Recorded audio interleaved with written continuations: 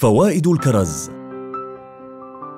النقرس تناول الكرز يساهم في خفض الإصابة بالنقرس إلى 35% الأرق. يحتوي الكرز على الميلاتونين وهو هرمون ينظم الساعة البيولوجية للجسم ومن ثم فإن تناول الكرز يساعد على النوم والتخلص من الأرق.